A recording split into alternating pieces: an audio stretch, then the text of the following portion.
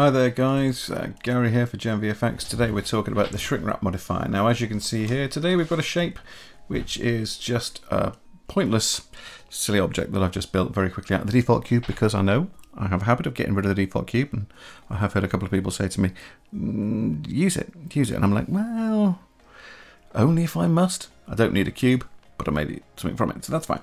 So here it is. It's just a little shape. It doesn't actually, it isn't really anything at all. It's just a few extrusions and then um, subdivision and then baked down to a piece of geometry.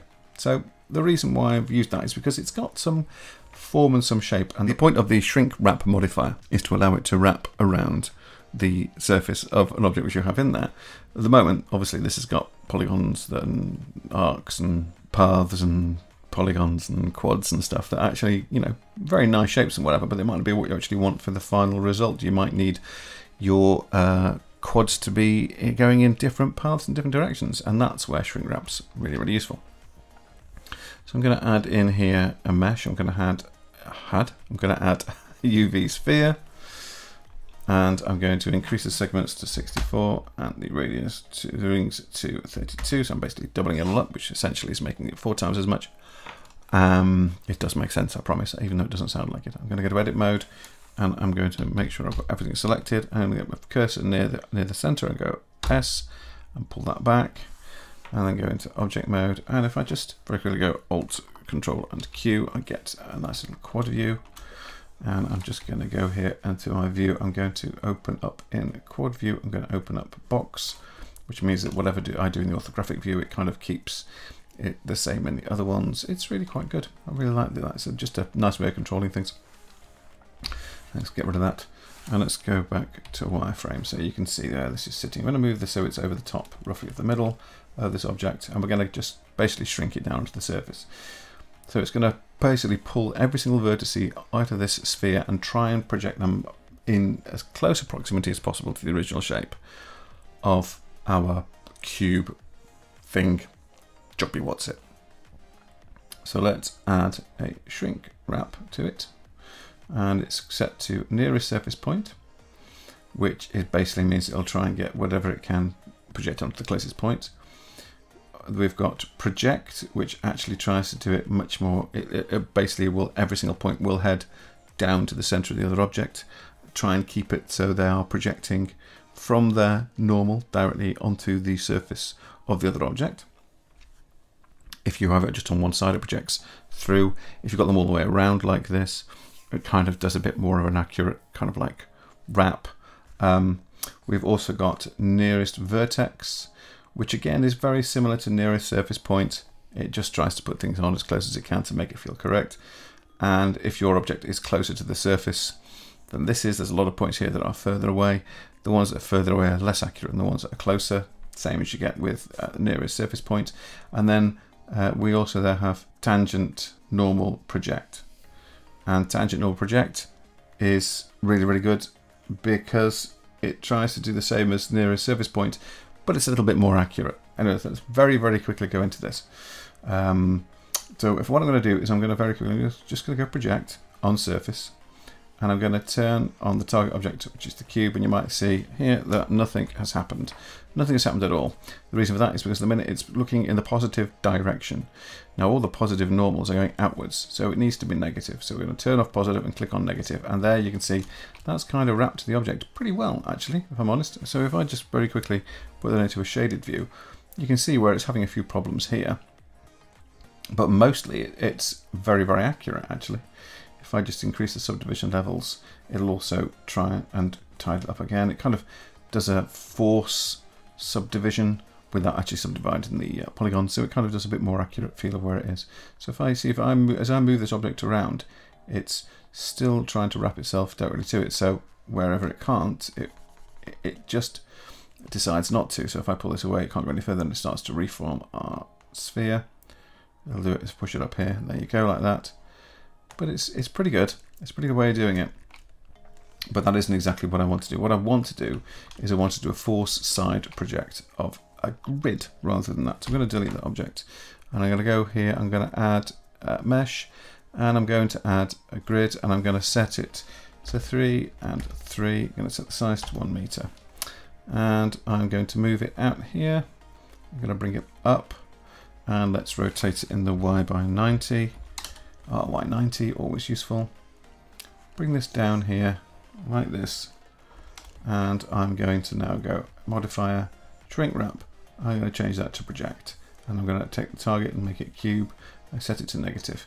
So now what's happened is, as you can see, it's projected the object. The object is now just on that side, projected as it would be if it was there. So if I go to edit mode, now if I go to 3, you can see as I move these points around, very much like the sphere, it's just pushing them around directly on that angle of the surface, which is great. What we can do now is, well, actually what we should be doing now actually very quickly is I'm going to offset in this a little bit away from the surface. So it's just, it's just proud of the surface of our object so we can see it. So if I was to look a little bit closer, you can see it's just, there you go, it's just, just above our object. It means it's always visible. And I'm also very quickly going to go here. There we are. And let's put it on random so we get a slightly different color on our objects to help it make it a bit more visible. So let's control on Q again, put us back into quad view. And I'm going to take this point, I'm going to move it over here, that over there, and that over there, that over there. And let's take this and put this one here, and put this one here, this one here, this one here. And then let's move these, let's just rotate these around and rotate these around. And you can see it's still doing its best to project these onto the surface. Now one of the reasons why people use shrink wrap is because it's actually particularly good for uh, things like, as I say, you could use it to um, kind of remodel a car based on uh, a shell that you've built that you've built from a, um, a sculpt. And then you can basically use projection to build on top of the sculpt uh, on one side and work out where your doors are going to go and your windows are going to go and it's so you can actually do some rapid prototyping with it which is good. Um, also you could use it for clothing and whatnot. It's it's very very useful. So if I just go in here let's just pop in another set of vertices there. You see gives us a bit more a bit more there.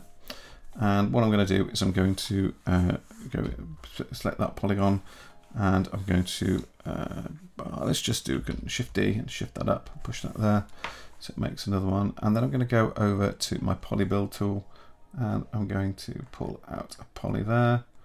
Let's just move it up a bit. Uh, let's pull out a poly there, move that up, and let's pull out that one there, and move this around, and then pull this down here like this, pull this around. And I'm just going to very quickly going to go into the tool settings, and I'm going to put an auto merge, and then I'm going to go in here and do this. Let's just make this a little bit more. Uh, uh, uh, to, there we go. So that should go to there, and that should go to there. Lovely. So I'm merging those in. I'll do this. I'll do the same thing here, just to give it a bit more a little bit of interest. Come where are you? No, not that one. I want this one. There you go. And let's pop that there and that one there. That should be merged. There you go. So we've got some sort of funky sort of shape, which is nice. Go oh, Control Q again. And let's add a subdivision surface and let's put that above our shrink wrap. And I'm going to add a solidify and let's set that solidify. And that's solidifying inwards because why not? Uh, let's make that minus 0.03, minus 0.1. There we go. How about that? There you can see that now. And then let's add another subdivision surface and then let's make sure the object is shading smooth.